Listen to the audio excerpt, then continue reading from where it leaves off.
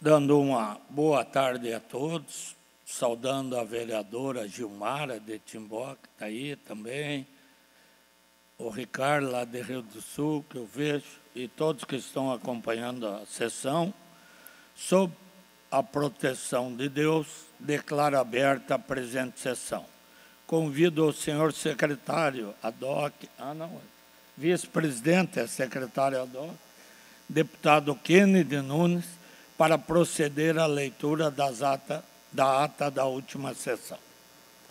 Boa tarde, senhor presidente. Boa tarde a todos. Eu faço a leitura da 99ª sessão ordinária da quarta sessão legislativa da 19ª legislatura da Assembleia Legislativa do Estado de Santa Catarina, que foi realizado ontem, dia 4 de outubro de 2022, com a presidência dos deputados Moacir Sopelsa, Maurício Kudilac, Ricardo Alba e a secretaria do deputado Ricardo Alba. Às 14 horas, o dia 4 de outubro do ano 2022, nessa cidade em Florianópolis, capital do estado de Santa Catarina, reuniu-se a Assembleia Legislativa em sessão ordinária. Havendo coro regimental, o senhor presidente declarou abertos os trabalhos e convidou o senhor deputado Kennedy Nunes, segundo vice-presidente, para proceder à leitura da ata da sessão anterior, que, em consonância com o parágrafo 1 do artigo 106 do Regimento Interno, o senhor presidente deu-a por aprovada. Expediente foi solicitado para que fosse feita a distribuição e, em breves comunicações, fez uso da palavra o deputado Gessé Lopes. No grande expediente, não houve inscritos para o horário destinado aos partidos. Em ato contínuo, o senhor presidente suspendeu a sessão até às 16 horas. Reaberta a sessão, o senhor presidente adentrou no horário da ordem do dia, que teve votação. Em votação foram aprovados o pedido de informação 403/2022 e as moções 789, 787 a 803/2022. Na sequência, o senhor presidente deferiu os requerimentos 1510 e 1511, 1518 a 1519, 1521 e 1522/2022 e comunicou que vai encaminhar aos destinatários as indicações 635 e 636/2022. Em explicações pessoais, fizeram uso da palavra os senhores deputados Ricardo Alba, Volney Weber, Jair Mioto, Maurício Scudlar, Ivan Nats e a senhora deputada Paulinha. Nada mais havendo a tratar, antes de encerrar a sessão, o senhor presidente convocou outra sessão ordinária para o dia seguinte, no horário regimental. E para constar, o segundo secretário fez a presente ata que eu acabo de ler, senhor presidente, e que todos os deputados já receberam em seus e-mails. Obrigado, deputado Kennedy Nunes. Em consonância com o parágrafo 1 do artigo 106 do Regimento Interno, dou a ata por aprovado. Solicito à assessoria que proceda a distribuição do expediente. Breves comunicações. Inscrito para falar, em primeiro lugar, deputado Ismael dos Santos, a quem concedo a palavra por até dez minutos.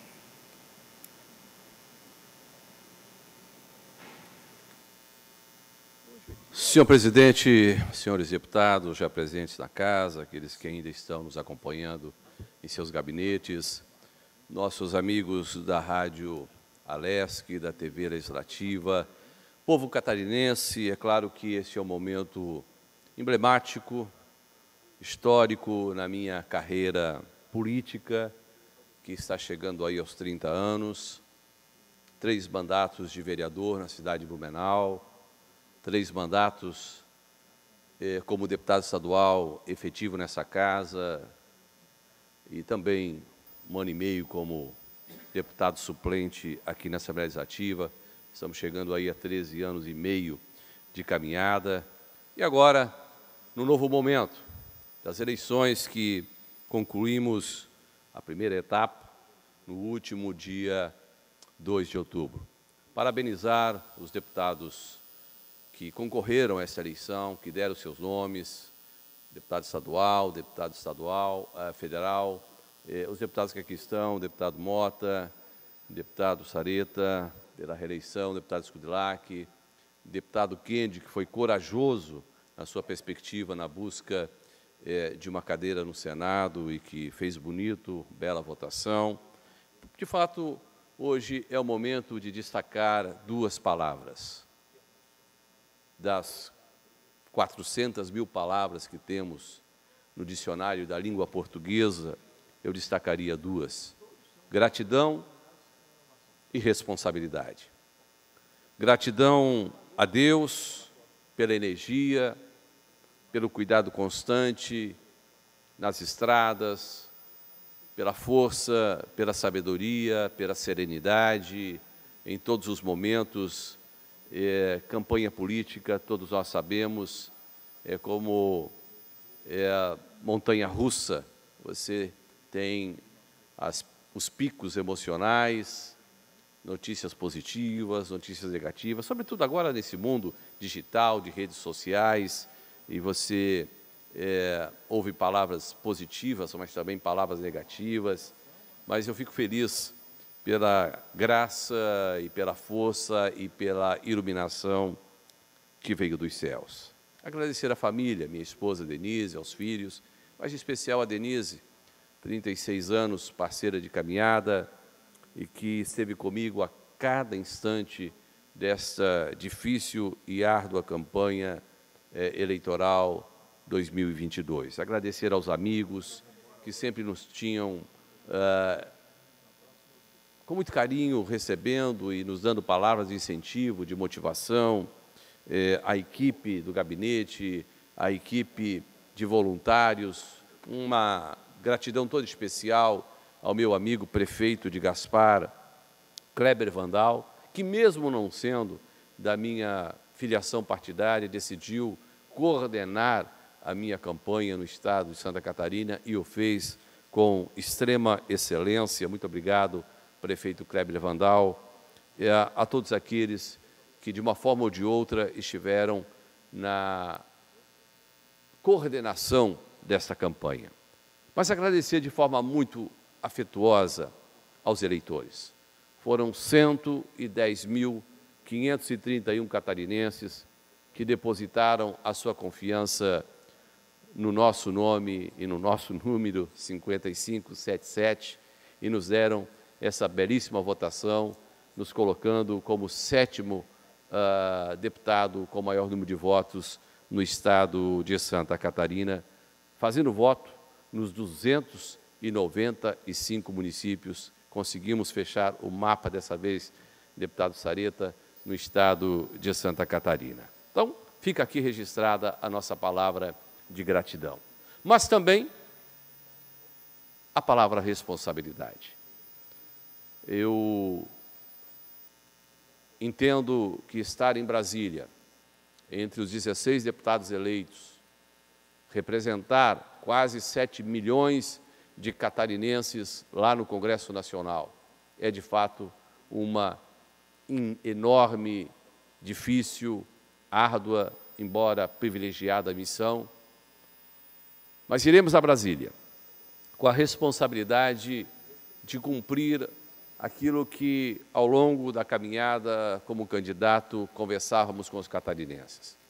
Primeiro, questões estruturais para o nosso querido estado de Santa Catarina. Que, sendo o deputado Skudlac, nosso presidente, apenas 1% do território do Brasil, Santa Catarina é a sexta economia. E, infelizmente, somos o 23º estado em receber o retorno é, desses recursos. Então, é preciso que a nossa voz seja ouvida de forma mais intensa, com um olhar mais carinhoso e que, de fato, o nosso presidente, o bordão que tem, se torne realidade. Menos Brasília e mais Brasil. É isso que queremos e é isso que desejamos para obras estruturais imprescindíveis, indispensáveis para que a nossa pujante economia continue forte e firme, sobretudo no escoamento da nossa economia para os cinco portos que temos e, infelizmente, ainda com rodovias lastimáveis não só estaduais, mas também as federais, e lá queremos estar lutando nessa perspectiva. O Pacto Federativo, questões eh, fundamentais de reforma administrativa, eh, tributária. Eh, tenho conversado muito com empresários, com comerciantes que cobraram de nós essa pauta e que, com muito carinho, queremos levar a Brasília. Mas não só isso, deputado Kennedy. Vossa Excelência, que aqui tem insistido nessa tecla, existem também pautas é, de valores, pautas de princípios, que para nós são inegociáveis e que lá estaremos na defesa dessas pautas. Falo da liberdade de expressão, do direito de ir e vir, falo do direito à vida, do não ao aborto, do não à liberação das drogas, falo é, de questões sociais, é, de questões educacionais, é, de valores ligados à família, à liberdade que temos de professar, deputado Mota, a nossa fé, os nossos valores espirituais, enfim, lá estaremos para defender aquilo que entendemos ser fundamental para o Brasil na perspectiva cristã. E eu concluo, senhor presidente, senhores deputados, nessa rápida intervenção de agradecimento nessa tarde, é, com um texto bíblico. O sábio Salomão, que foi governo durante 40 anos em Israel, ele disse uma frase há três mil anos e que continua muito atual. Ele dizia: O cavalo prepara-se para o dia da batalha, mas a vitória vem de Deus. É nisso que cremos, é nisso que confiamos e é nisso que depositamos a nossa fé. Ou, para citar aqui Napoleão Bonaparte, que também dizia que a vitória compete a Deus, mas o bom combate compete a nós. E esse combate foi feito. E eu espero não frustrar nenhum, absolutamente nenhum dos 110.531 votos depositados na nossa pessoa. Vamos em frente com fé, com a graça e com a luz divina, que certamente vai nos iluminar nessa longa caminhada lá em Brasília. Obrigado, senhor presidente. Obrigado, deputado Ismael dos Santos. Próximo deputado inscrito, deputado Kennedy Nunes a quem concedemos o tempo regimental de 10 minutos. Obrigado, senhor presidente. Parabéns, deputado Ismael, pela belíssima eleição e que o Senhor te abençoe naquela casa. Parabéns ao deputado Neudi Sareta, que também está aqui, que conseguiu o sexto mandato, sexto mandato, ao bispo Sérgio Mota, que conseguiu a reeleição e foi um grande parceiro na minha caminhada. Muito obrigado. Ao deputado Maurício Cudilá, que agora alcançou o quarto mandato, né? O quarto mandato. E que Deus possa abençoar a todos vocês. Eu cito esses por estarem aqui no plenário. E quero agradecer também quase meio milhão de pessoas que dedicaram e que apostaram no meu nome para o Senado. E como fiz já no domingo à noite, agradecendo todos esses que acreditaram na nossa luta, porque nós, né, e faço aqui referência à presidente do PTB, jovem a Maiara, que está aqui, nós do PTB estávamos num processo quase que minguante, mas as pessoas acreditaram. Quero agradecer aqui também o Partido Progressista, do nosso candidato ao governo, Espiridião Amin, que também abraçou a nossa candidatura e que alcançamos aí quase meio milhão de votos. Isso é muito para alguém como eu. Aliás, foi feita uma matéria do valor do voto. Né? Eu é, tive. O meu valor do voto foi quase 1.800 vezes menor do que o que gastou mais, que foi o candidato Celso Maldana. Eu, o meu voto custou 60 centavos. Né? Ou seja, é uma grande coisa para a gente é, fazer e a, a minha gratidão aos catarinenses. E um aviso: a luta não terminou. Vou lá começar. Quase um ano. Hoje é dia. Que dia que é hoje? Cinco. Cinco, né? Cinco de outubro. No dia 7 de outubro do ano passado, eu falei isso. Toca no telão. Quase um ano atrás. Olha o que eu recebi de dentro do governo. Boa noite, Kennedy. Sobre o caso do software que está na mídia, uma informação relevante que talvez possa contribuir. Entre as várias empresas da região que poderiam atuar neste tipo de serviço, uma delas é a Software Expert, Soft Expert, de Joinville. Essa empresa é líder de mercado no Brasil do desenvolvimento de softwares para suporte à gestão de qualidade e implantação do certificado ISO 9000. Essa empresa foi contratada pela Secretaria de Administração e, assim como as outras, manifestou, abre aspas, desinteresse, fecha aspas, pelo negócio por não atender aos requisitos constantes no termo de referência. Entendeu? A dispensa da licitação é porque daí eles colocam um jabutizinho lá no termo de referência dizendo o seguinte, que o, o software tem que ter o tio um pouquinho menos à esquerda do que... Essas questões só para fugir da, da dispensa de licitação. O principal motivo foi do desinteresse foi a exigência, no termo de referência, a exigência que o software serviço seguisse uma determinação padrão chamada MCDA dígito C, metodologia multicritério de apoio à decisão construtivista, da qual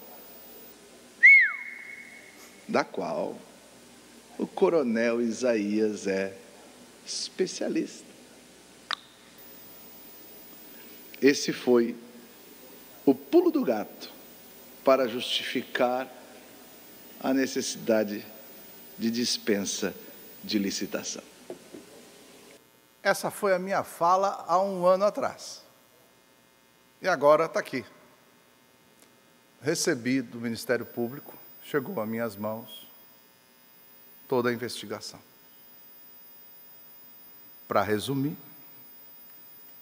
três personagens: Coronel Isaías, já reformado, secretário Tasca, coronel secretário de administração, e um que se chama Giovanni Pacheco, que também é oficial da Polícia Militar. Esses três, ei, não fica bravo comigo. Não, está aqui, ó. Está aqui, eu vou disponibilizar para a imprensa. Está aqui.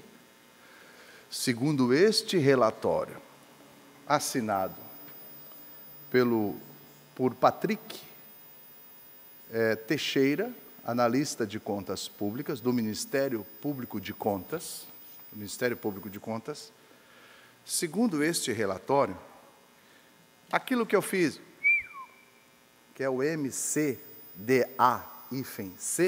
que é o tal do multicritério de apoio à decisão construtivista, esse é um tema em que o coronel Isaías é especialista do tema, com doutorado, e que foi o motivo da dispensa de licitação. Mas quem é que foi o convidado especial da banca desta tese do coronel Isaías? o Tasca, que foi o cara que contratou o serviço com dispensa de licitação, porque só o cara. Ah, o pedido exigia esse tal do MCDA-C. O relatório diz que, além da amizade profissional, afinal de contas, os três são oficiais da Polícia Militar. Além disso, eles um chama o outro para sua banca de avaliação.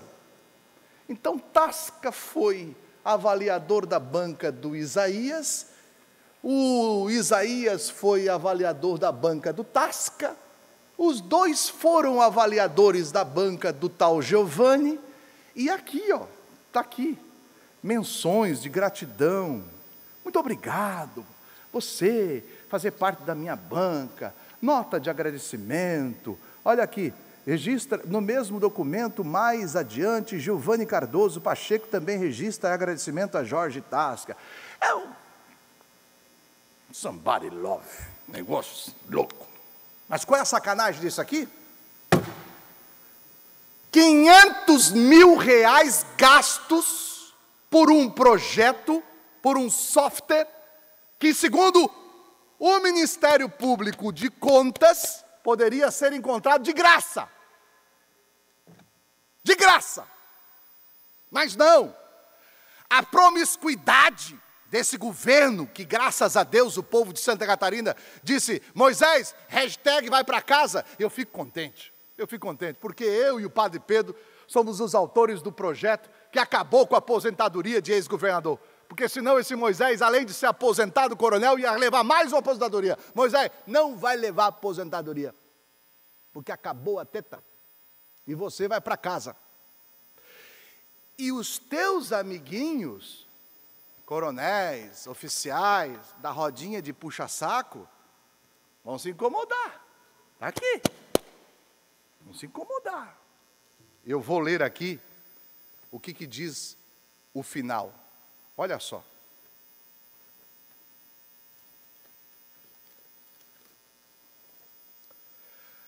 Ademais, Após tais considerações, pode-se concluir que existem potenciais indícios de que a inexigibilidade da licitação tal foi feita, que culminaram com a contratação da empresa que o Isaías, que é o cara que fez doutorado, avaliado pelo Tasca, que o Tasca mandou contratar a empresa do cara, Somebody Love, foi denominada a Seon Tecnologia, foram irregularmente executadas e instruídas, haja vista que inexistiu dos procedimentos de comprovação cabal da impessoalidade e da competição ao contrário. Verificou-se ainda a existência de outros programas que se utilizam do mesmo tal do MCDA dígito C, inclusive gratuitos. Um minuto, senhor presidente, para eu terminar aqui só a leitura do documento. Dois minutos. Deputado. Obrigado, senhor presidente. Ainda verificou-se uma extrema celeridade em alguns, em diversos momentos do procedimento, especialmente no caso do Porto de São Francisco, que a bem a verdade limitou-se a copiar o parecer da Secretaria de Administração, sendo que é possível perceber que no processo do Porto, sequer o processo foi deflagrado para suprir uma necessidade de administração. Aqui está o documento, cara. Sabe o que é, deputado Ismael? Aqui está o documento. Os caras lá do Porto de São Francisco estavam tanto, tão, com tanta pressa que está aqui no documento o documento assinado com o nome dos ex-diretores. Eles nem, nem tiveram a possibilidade e a pressa ou o cuidado de trocar o nome dos ex-diretores. Finalmente, o que mais me chama a atenção é a aparente inexistência e determinação do Estado em contratar a software PSEC, que já começa com a escolha pelo MCDA dígito C e pela necessidade da contratação de programa que aplique exatamente a metodologia. Nesse diapasão, também existem indícios de que as contratações, ora analisadas, foram direcionadas. Não sou eu que estou dizendo, é o relatório direcionadas já na escolha da metodologia, que o cara é craque, entendeu? E haja vista que se vinculou que o sócio administrador da empresa contratada e a cúpula da Secretaria de Administração e do Porto de São Francisco do Sul, na verdade, compuseram um grande grupo de estudos e pesquisas no âmbito do PPGEP da Universidade Federal no qual se debruçam a dedicarem a MCDA dígito C e de onde ressurgiu o PSEC, sendo que além das relações acadêmicas diretas entre os personagens, grande parte da cúpula recém-criada é formado por oficiais superiores da Polícia Militar, assim como o sócio administrador do, da empresa. Ou seja, um ano depois, a imprensa denunciou, o jornal ND denunciou, nós trouxemos aqui, e para finalizar, esse daqui, deputado Ivan, foi o tal do processo que o Akira, em menos de algumas horas, pediu a saída, porque. Um minutinho, senhor presidente. Esse daqui foi o processo, lembra, deputado Ivan, que o, o delegado Akira entrou na delegacia geral e daí, de repente, ele disse: Tô fora. Está aqui. Akira, você tinha razão, Akira. E parabéns, Akira, de não querer deixar a tua digital num rolo dos amiguinhos do Moisés. Eu vou ficar atento a isso daqui, porque isso não pode passar de graça. Aqui tem completamente rolo em uma licitação, dispensa licitação de um software de 500 mil reais e que se encontra no mercado de graça com o mesmo tal MCDAC. Isso se chama o jeito Moisés de governar. Vai para casa, Moisés. Obrigado, senhor presidente. Obrigado, deputado Kennedy Nunes. Próximo orador inscrito, deputado Sargento Lima. Próximo orador inscrito, deputado Neudi Sareto. Vossa Excelência tem o tempo de até 10 minutos. Senhor presidente, senhores deputados, senhoras deputadas, estimados catarinenses que acompanham esta sessão, eu não poderia deixar de também fazer uso da palavra para fazer alguns registros importantes sobre esse processo eleitoral vivenciado. E é claro que, antes de mais nada, deixo consignado aqui o agradecimento àqueles catarinenses que entenderam eh, de apoiar a minha candidatura, o que resultou eh, na possibilidade de permanecer aqui nessa casa por mais quatro anos, eh, continuando o trabalho que temos feito aqui.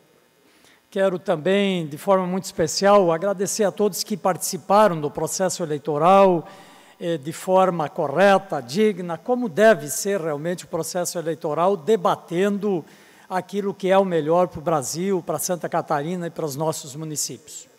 Nós percebemos também eh, que continua ainda, durante as eleições, eh, informações nem sempre verídicas, tentando induzir o eleitor.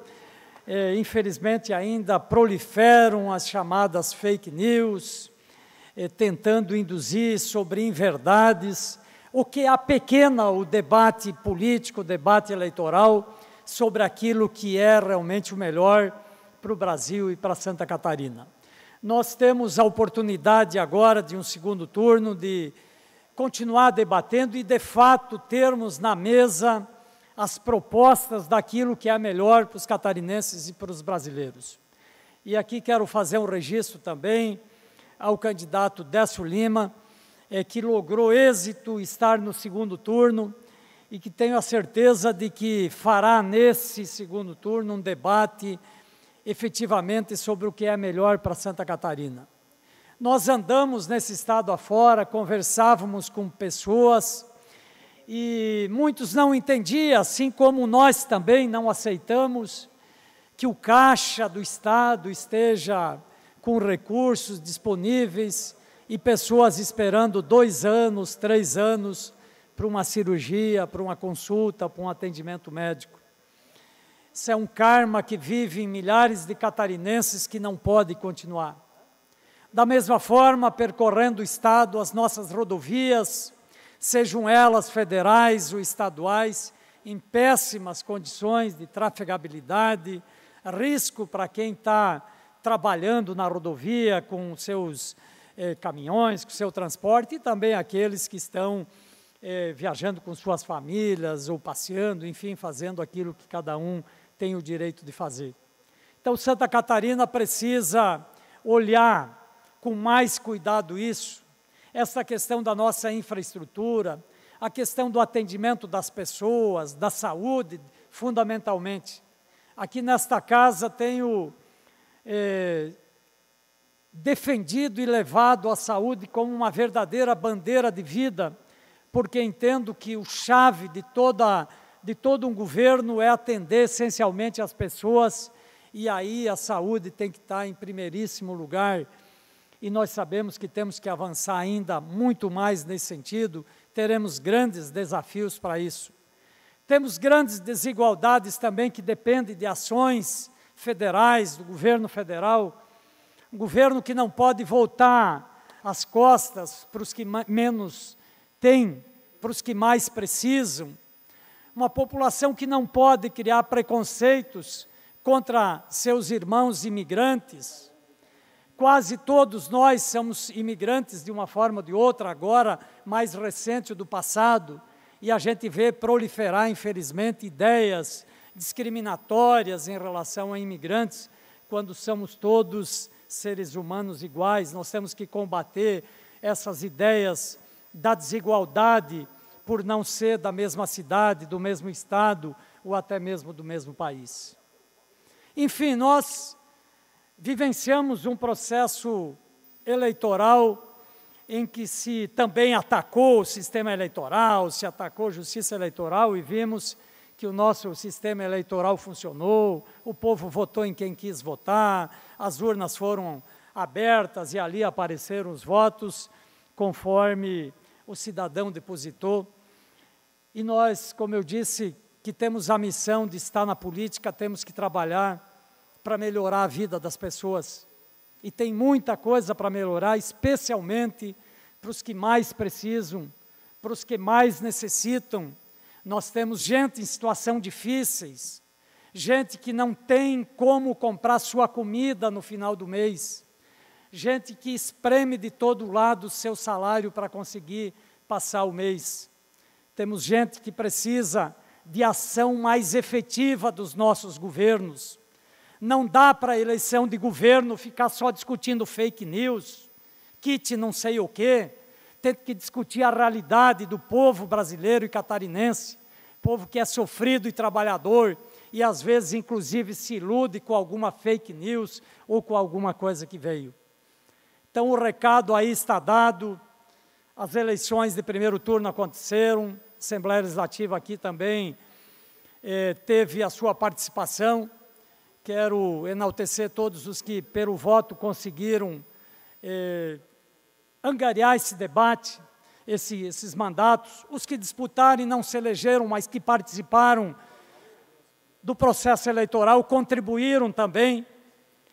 E que a gente possa, de fato, nesse segundo turno, discutir o que é melhor para a população brasileira de forma efetiva, que a gente possa lutar pela melhoria das condições de vida da população, que o nosso Estado possa garantir mais atendimento às pessoas, que a gente possa ter mais também da fatia desse bolo nacional que tanto é arrecadado e pouco aqui é retribuído, e que a gente possa, acima de tudo, trabalhar para melhorar a qualidade de vida das pessoas. Essa é a minha mensagem. Deixo mais uma vez consignado o agradecimento a todas aquelas pessoas que nos eh, acreditaram mais uma vez para que pudéssemos, pela sexta vez, eh, termos um mandato de deputado estadual para representar esta parcela da população que nos confiou o voto. Um grande abraço, muito obrigado a todos. Obrigado, deputado Neudi Sareta. Com a palavra agora, Sargento Lima ao qual também aproveito para parabenizar pela reeleição, pela excelente votação. Fica sob sua responsabilidade, a partir de fevereiro do ano que vem, e do deputado Cadorim, a representatividade da nossa querida Joinville.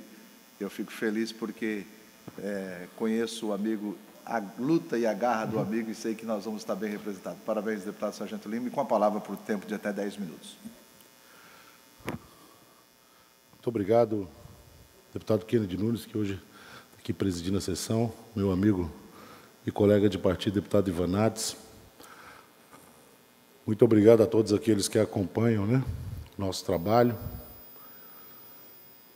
E não vou dizer que, que é algo fácil né, o período eleitoral, né? é desgastante, é, mexe muito com com o psicológico do, do sujeito, né? A aceitação e a rejeição são dois sentimentos muito é, muito quentes, muito intensos, né? Os dois mexem muito com o indivíduo. nós tivemos aí pela frente uma, uma campanha muito bonita, muito limpa, muito transparente, uma campanha silenciosa, uma campanha do que contradisse muitas vezes aquilo que era dito, né? pessoas que apresentavam resultados, né? a campanha das pesquisas. E é sobre isso que, além dos agradecimentos, né, que eu quero deixar para os minutos finais, eu quero falar sobre o resultado das pesquisas. Desculpa. Nós tivemos no Brasil uma situação de resultados né, em todo o território nacional dos principais, é, das principais empresas que fazem pesquisa e erraram miseravelmente. Então, nós podemos acompanhar também nos últimos dois dias, há um pouco mais de tempo na TV fechada, mas de forma bem exclusiva na TV aberta, nos últimos dois dias, a retratação dos órgãos de imprensa em relação ao resultado das pesquisas. Eu enxergo da seguinte forma: ou foi de forma culposa, ou seja, realmente são incompetentes não sabiam o que estavam fazendo, e daí sim merece-se um critério especial em relação a órgãos fiscalizadores dessas ditas empresas de pesquisa, ou então foi de forma dolosa, de forma criminosa, a fim de induzir resultados. Essa indução de resultados, ela tenta direcionar o voto útil para um determinado candidato. Fugiu de longe da realidade. Então nós temos que admitir isso. As próprias empresas, a própria imprensa, passou os últimos dois dias se tentando se retratar, tentando explicar um erro visível. Como eu falei, ou de forma culposa ou de forma dolosa. Mas, né, a, quando se faz a abertura da urna e se faz a contagem de votos, podemos apreciar ali que houve realmente ali um erro gritante das, das empresas de pesquisa que fazem essa pesquisa eleitoral. Mas menos, não tão ruim quanto opinião também dos gurus políticos do Estado. Né? A gente assiste eles lá, lê as colunas, alguns deles, né? Fazem lives, fazem transmissão, né? falando que tal candidato não chega de primeiro mandato, não chega à casa dos, dos 9, 10, 11 mil votos. Né? Eu não sei qual realidade que eles trabalham. E eu não sei se eles emitem essa opinião de forma dolosa ou culposa também. Mas, independente, erraram, erraram feio em muitas das suas previsões, em muitas delas mesmo.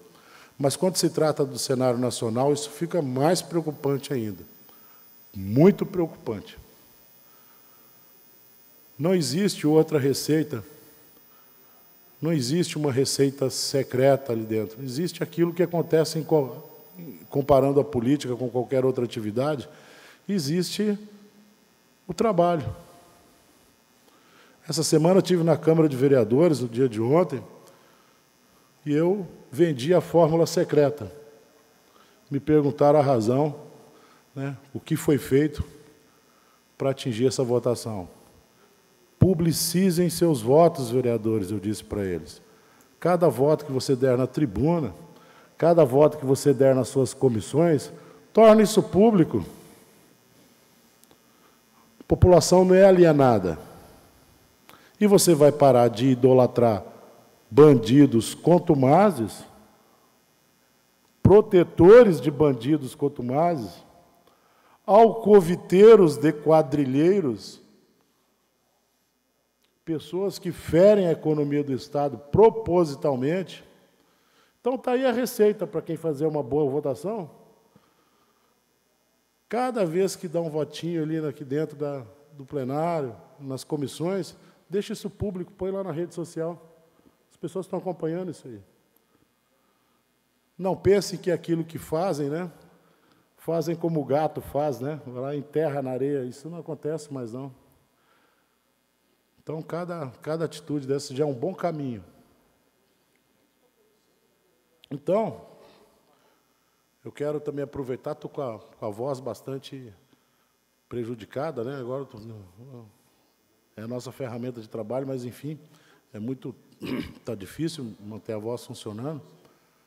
E não foi por comemoração, não, tá, Tarcísio? Foi de falar mesmo. Foram 45 dias gritando, incessantemente, falando, cumprimentando pessoas, apertando mãos. Não foi na comemoração, porque eu não comemorei. Minha vitória não foi completa. Minha vitória não foi completa. Minha vitória está vindo daqui no segundo turno. Essa será a minha vitória. Quando nós fomos eleger o nosso presidente Bolsonaro e julgar o partido das trevas para sempre dentro do mar do esquecimento e todos aqueles que andam junto com ele. Falei há exatos sete meses atrás que nós iríamos arrancar Carlos Moisés do governo, e eu falei isso nessa tribuna. Ele, o primeiro, o segundo e terceiro escalão dele. Foi feito o trabalho. Foi feito o trabalho. Inclusive, na minha cidade, fiz mais votos que o próprio candidato a governo do Estado. E outros vários municípios repetiam a proeza. Tá? Não vou falar dele porque rei morto, rei, rei posto, rei morto. Para mim não existe mais, a gente tem outros problemas agora. Então, é a última vez que eu me refiro a essa pessoa. Mas aos eleitores quero dizer que fizeram um excelente negócio, rea... fizeram um, um excelente negócio aí, renovando o meu contrato. Tá? Tens aqui um cara que tem entendimento do que é ser servidor público. Eu entendo o que, que é isso. Minha vida inteira fui, eu sei muito bem o que, que é um servidor público. Quero agradecer a cada um dos 71.125 catarinenses. Quero agradecer aos quase 40 mil joinvilenses.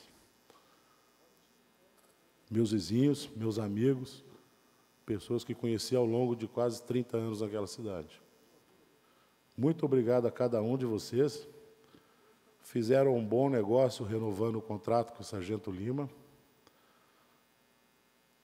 Espero, do fundo do meu coração, que Deus tenha misericórdia do país. É uma questão mesmo de misericórdia, que Deus, mais uma vez, mostre essa preferência que Ele tem por essa terra.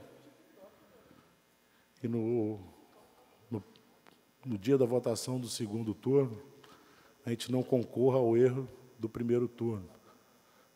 Que primeiro que foi induzido realmente ao erro por empresas de pesquisas que não deveriam nem estar funcionando, meios de comunicação que propagaram esse resultado dioturnamente na televisão, que também não deveria nem estar funcionando, não merece que seja assistido e também por um sentimento de irresponsabilidade de muitos que não foram às urnas.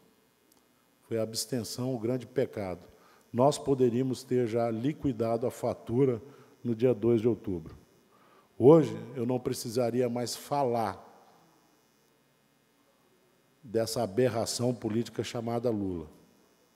Hoje poderia já nem tocar nesse assunto. Fazer o mesmo que eu fiz com o nosso governador aqui. Julgar no mar do esquecimento escreveu o seu nome no, no, li, no livro daqueles que não devem ser lembrados e julgar as páginas do local incerto e desconhecido, saindo pela porta de trás. Mas temos aí mais alguns dias aí de forte trabalho para atingir o nosso objetivo maior. E vai ser atingido. Para a honra e glória do nosso Senhor Jesus Cristo. Obrigado. Obrigado, deputado Sargento Lima. Com a palavra, o deputado Ivan Nats, por tempo de até 10 minutos, ao qual também parabenizo pela reeleição. O Ivan tem um. Nós temos uma história juntos. Na primeira vez que ele entrou aqui no parlamento foi quando eu pedi uma licença. O Ivan tinha saído uh, candidato, ficado suplente. Ele ficou aqui 60 dias, depois veio com o mandato é, como um dos que levou menos votos naquela eleição 2018 e agora vem montado no caminhão de votos. Parabéns, deputado, isso com certeza é resultado do trabalho também. Boa tarde. Obrigado, deputado Kennedy. Posso dizer que boa parte que faço aqui aprendi com Vossa Excelência. Sempre disse isso. Nosso professor, nosso guia, e que vai certamente nos fazer falta aqui. Como a manifestação que Vossa Excelência fez agora do software, que, que o software foi comprado, segundo o Tribunal de Contas agora, com evidência de fraude, né? E que poucos deputados, vou falar aqui olhando para o senhor, não olhando para a Câmara, não, vou falar olhando para o senhor. Poucos deputados têm coragem de subir nessa tribuna aqui, ó, e fazer o que o senhor faz. E fazer o que eu faço, fazer o que o Lima faz. Poucos. A maioria tenta se fazer de conta que não sabe, ou não tem, não quer fazer, não sei. Cada um faz a sua, a sua história. Mas, Vossa Excelência, deputado Kennedy, tem marca nessa tribuna aqui. É marca de combater, é máquina de, marca de enfrentar, é máquina de vencer. De vencer. É isso que o senhor é. O senhor é um vencedor e um professor para todos nós. O senhor deixa o parlamento, porque lá no começo já disse que não, não seria mais candidato a deputado para mim, e deixa um legado, uma história, e deixa seguidores aqui, dentro desse parlamento. E eu vou mostrar para Vossa Excelência que eu sou um seguidor de Vossa Excelência. O governo acabou. Acabou a picanha, a, o violãozinho ensinando a fazer picanha invertida. Tudo viu isso aí, né? Não sei como podia dar certo. Né? Não tinha como dar certo. Todos os que se grudaram no governador Moisés faliram. Faliram. Quem não teve ali ó, uma, uma instituição para se grudar, para tentar se salvar, faliu. Então, o governador faliu a si próprio, faliu o Estado, moralmente, e faliu os seus colegas. Os candidatos do governador Carlos Moisés, os, os de ponta, os de ponta, não fizeram os sete mil votos. Sete mil votos. Aqueles que eles apostavam não passaram de oito mil, sete mil votos para deputado estadual. Então, o governo não, não prejudicou a si também, só, prejudicou todos aqueles que estavam à sua volta. Caíram como um, um joguinho de dominó, um atrás do outro. Incapacidade gera incapacidade, não tem o que fazer. Mas eles estão caindo, senhores deputados, e estão fazendo estrago. Continuam fazendo estrago. Mas, aqui nesse parlamento, tem gente que fica de olho, deputado Kennedy. Pode demorar, mas nós apontamos. Agora, veio a deliberação essa semana da diretoria da Celesc, a 89-2022, e a instrução normativa 1310025, que a Celesc está dizendo que é segredo, que não pode mostrar, que não pode mostrar. Mostra aí. Eles estão dizendo que não pode mostrar, porque a comissão de valores proíbe mostrar divisão de, de lucros, dividendos a mais para os investidores, a boca de caixa feita no domingo. Aqui, ó, mostra no plenário aqui da Assembleia para os catarinenses verem. O documento que eles não querem que mostre, porque a Comissão de Valores Imobiliários, imobiliários que não pode mostrar. Mas aqui, na Assembleia Legislativa, tudo se pode mostrar. E esse documento aí é a maior fraude que a Celesc está aplicando sobre os catarinenses, dividindo os lucros entre os seus diretores seis vezes mais. Volta para mim. A Celesc está dividindo o lucro, os dividendos da empresa. Volta para mim aqui no plenário.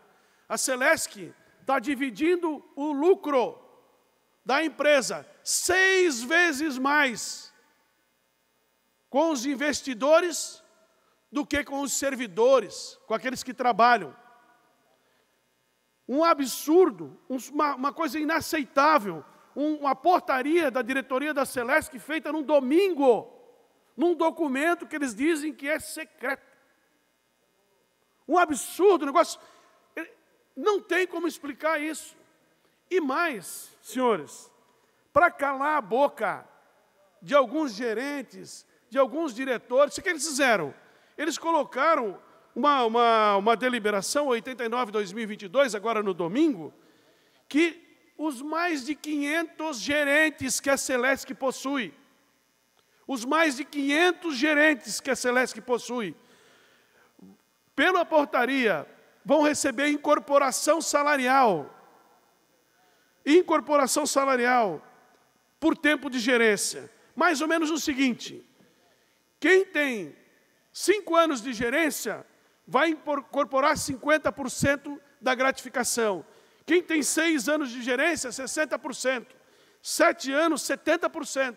Oito anos, 80%, e assim sucessivamente, até que incorpora 100% da, da gratificação de gerência, depois de 10 anos de gerente na empresa.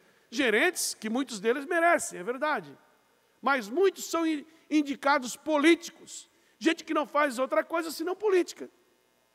Então, meu respeito aos funcionários da Celesc. A Celesc tem mais de 4 mil colaboradores, é uma empresa extraordinária. Mas tem um grupinho aí dentro da Celesc que se beneficia dos amiguinhos, os amiguinhos do governador Carlos Moisés, que foi chutado nas urnas, o primeiro governador da história a não ir para o segundo turno e ainda perder para o PT, que nunca teve no segundo turno aqui, aqui em Santa Catarina. Agora, assina uma portaria dando seis vezes mais dividendos para empresários, alguém está alguém tá levando alguma coisa aí. Porque ninguém tirou isso da cabeça. Dá seis vezes mais é, entrega de dividendos para investidores, deixando o, o, funcionário de fora. Incorporando mais de, incorporando gratificações para mais de 500 gerentes. Eu pergunto, senhores deputados, o impacto financeiro disso. O impacto financeiro dessas incorporações. Quem vai pagar? Quem vai pagar? Quem vai pagar é o consumidor, é você, consumidor, que está pagando a luz, está pagando a energia da sua casa, tirando o último que tem para pagar a energia, para pagar gratificação para 500 gerentes, que já ganham ótimos salários, que já vão se aposentar com ótimos salários. É você, catarinense, que está pagando essa conta. Você que vai dividir a incorporação dessas 500, 500 gratificações para o resto da vida dessas pessoas. Com que razão? Com que razão, se esses cargos de gerência sempre foram cargos políticos? Quando você acender a luz da sua casa, pá, acendeu a luz, ligou o chuveiro, viu a geladeira funcionando, ligou a televisão, tu está pagando uma partezinha dessas 500 gratificações. Então, eu faço essas observações, eu sei que isso aí vai ser enfrentado no Tribunal de Contas, nós vamos para o Poder Judiciário, nós vamos para o Poder Judiciário contra essa aberração. Não adianta me ameaçar, não. Não adianta dizer que não pode mostrar a portaria aqui. Está aqui a portaria, para quem quiser ver. Está aqui, ó. É só pedir pelo WhatsApp, pela internet que eu mando. Não adianta vir me ameaçar, dizer que isso aqui é documento sigiloso, que é sigiloso a sacanagem que vocês fazem com o dinheiro do contribuinte. Com quem paga a conta de, de luz aqui em Santa Catarina. E é por isso que no próximo mandato, senhor presidente, senhores deputados, nós temos a obrigação de passar a Celesc a limpo. A Celesc precisa ser passada a limpo. E a Assembleia Legislativa vai fazer a CPI da Celesc. A nova legislatura, a partir de fevereiro, vai fazer a CPI da Celesc, para compreender o que é a Celesc, o que fazem com tanto dinheiro, por que não tem rede trifásica no interior de Santa Catarina, por que algumas empresas recebem ligação imediatamente e outras não recebem, por que os servidores reclamam tanto da Celesc por que os usuários reclamam tanto da Celesc. O que é a Celesc? O que é a Celesc? Essa é uma obrigação do próximo mandato. Passar essa empresa a limpo. E nós vamos fazer. Nós vamos fazer a CPI da Celeste com a ajuda de todos vocês. Muito obrigado, senhor presidente. Obrigado, deputado Ifan. Enquanto a Vossa Excelência estava falando, eu me lembrei que nessa caminhada, uma das grandes reclamações pelo interior era exatamente a falta de estrutura de energia elétrica para novos empreendimentos empresariais, como Botuverá, por exemplo. E também a rede trifásica na comunidade rural, no interior. Né? A, Celesc é uma empresa pública.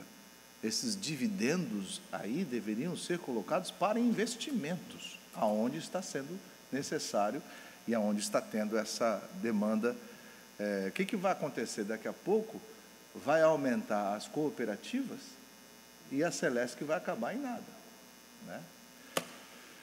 Vamos passar para a ordem, aliás, para o horário do, destinado aos partidos políticos. União, não tendo inscrito, PL também não tem inscrito, bancada PDT Republicanos também não tem, PP também não tem orador inscrito, PSD também não, Partidos Trabalhadores também não, Podemos também abre a parte e o bloco MDB novo também não tem. Tendo em vista, por acordo de líderes, nós vamos antecipar a ordem do dia, que tem a moção número 804 do deputado Fernando Krellin, que cumprimenta o senhor Henrique Loyola, empresário e ex-senador da República, pela passagem dos seus 90 anos. Em discussão, não havendo votação, está aprovado. Essa comunica também essa presidência que defere os requerimentos número 1520, 1523 e 1525, que será encaminhado aos é, destinatários. Senhores deputados, a gente lembra que na reunião da mesa de hoje nós é, decidimos que na próxima terça-feira, deputado Ricardo Alba, é que por ser é, na quarta feriado, a, a, a sessão na próxima terça-feira será também de forma híbrida, ou seja, os deputados que estiveram aqui ou que estarão no plenário poderão participar da sessão e os que não estiverem aqui poderão participar de forma de eh, vídeo, por vídeo. E assim eh, continua normal a sessão. Somente esta sessão de terça-feira que vem será de forma híbrida. Não havendo mais oradores inscritos, agradecendo a Deus e a todos os funcionários que ajudaram a gente a fazer esta sessão, esta presidência dá por encerrada a presente sessão, convocando outra ordinária para amanhã, às 9 horas da manhã. Está encerrada a presente sessão.